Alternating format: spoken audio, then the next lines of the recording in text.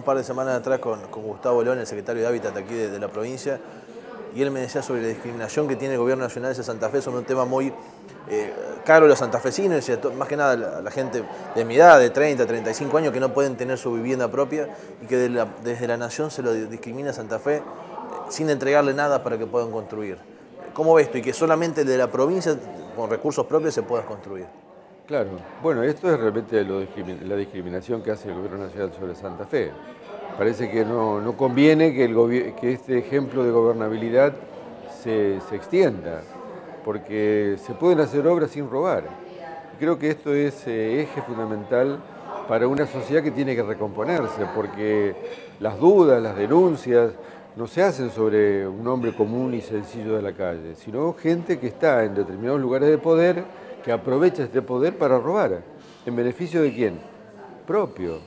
Bueno, esto realmente eh, está condenado por la ley y nosotros tenemos que defender realmente la independencia de este poder ejecutivo sobre el poder judicial y viceversa, que no es lo que está pasando hoy. Bueno, eso es un ejemplo de Santa Fe, ¿no? De 2007 no hay un funcionario que esté marcado de corrupción. Bueno, y esto es un valor que tiene Santa Fe. Comparado a lo que es un vicepresidente que está... Eh, que, tendría que, sí, que tendría que dar un paso al costado. claro, claro.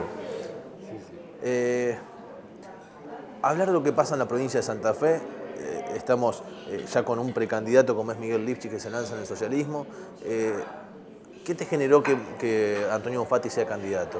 Bueno, me sorprendió, ¿no? Pero dentro de la explicación que él dio y que se puede leer en la prensa, este, está la imposibilidad de poder avanzar en un diálogo en el Frente Amplio Progresista eh, sin este, una capacidad de ceder, porque si no, no es un diálogo, es un monólogo, y no es un acuerdo, sino que es una parcialidad.